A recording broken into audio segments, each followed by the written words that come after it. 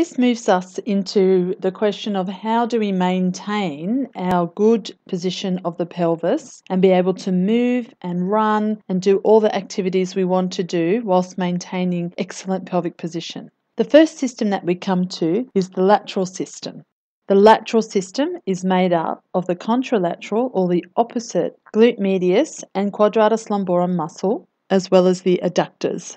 The lateral system is responsible for being able to keep the pelvis even when standing on one leg. So, in many exercises in the gym, when you are using one leg, such as in a stepping up onto a platform or lunging positions, you will have to use your lateral system to be able to keep that pelvis in a nice, even position.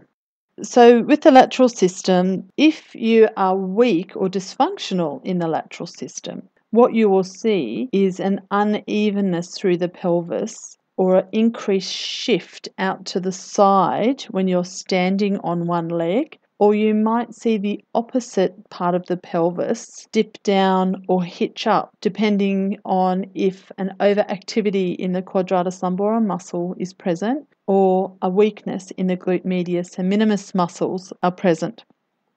There's some tests and assessments that we can do to be able to assess this, and these are such dynamic tests such as the single leg standing, the single knee bending test, or a single hop test, or a single leg calf rise test.